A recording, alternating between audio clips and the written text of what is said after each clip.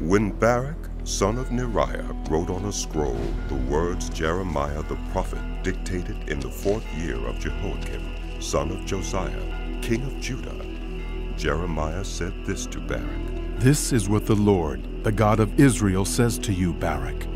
You said, Woe to me! The Lord has added sorrow to my pain. I am worn out with groaning and find no rest. But the Lord has told me to say to you, This is what the Lord says I will overthrow what I have built and uproot what I have planted throughout the earth. Should you then seek great things for yourself? Do not seek them, for I will bring disaster on all people. declares the Lord. But wherever you go, I will let you escape with your life.